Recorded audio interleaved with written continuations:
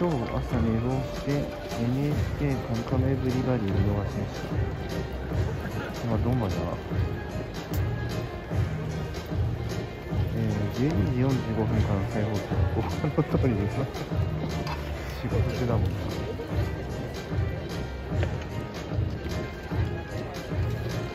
誰か何してつい。てって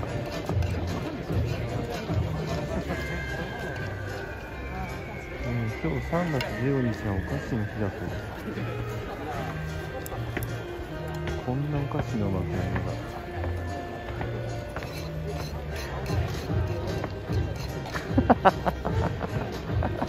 人めっちゃなって